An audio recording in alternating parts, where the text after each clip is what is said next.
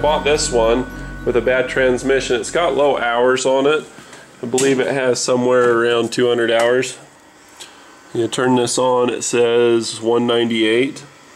So that's pretty low. My other little lawn tractor, it's got somewhere in the neighborhood of 500, 600 hours on it. So I picked this one up thinking, I bet it's just something little in the transmission that I can fix. So I bought it from a guy and uh, he tried to fix it and had poor success, poor results. And I thought, well, I'm a pretty smart guy. I'm a motorcycle mechanic, auto mechanic. I bet this will be no sweat. But I was still kind of intimidated. He said that it just needed some differential gears. He showed me a little baggie of them uh, that he had ordered from a guy online. They were wrong. And so he says, this is all it needs. And then I started to watch the videos to get a little bit of a background.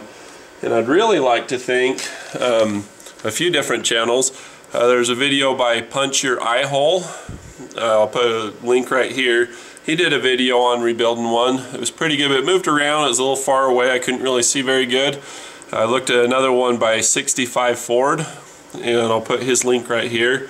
Basically everything I learned about these was from these three individuals. And the other one was Double Wide 6. I'll put a link to his video here. He's got a series of uh, several different videos, and his was the most helpful and confirmed what the guy who I bought the thing from so without further ado, let's tear into this. I'm going to show you what I've learned. I've cleaned it up, I've put it together, I've done my homework, and now I've got something to share.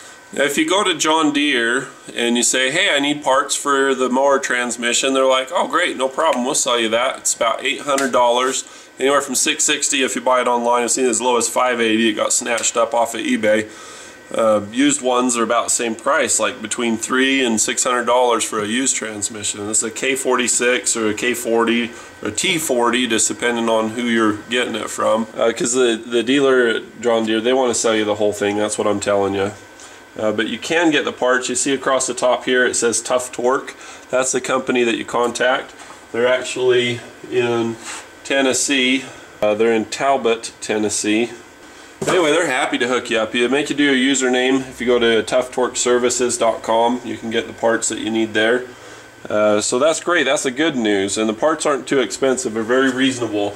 Um, the, I replaced the transmission filter here and also these differential spider gears.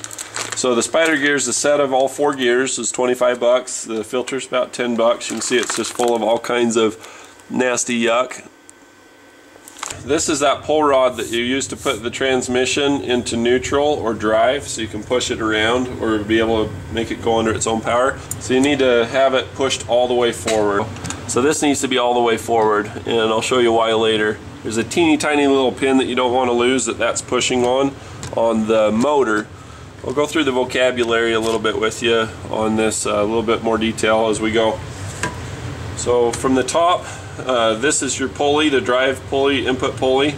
Uh, this is your vent cap, your filler cap, or drain cap if you're going to attempt to change the fluid. Now here's the deal from John Deere, they put crap oil in this and that's what blows them up. Uh, Tuff Torq recommends that you use something that is a synthetic 5W50. Now they've got their own special brew, but basically it's going to be something like this that says 5W50.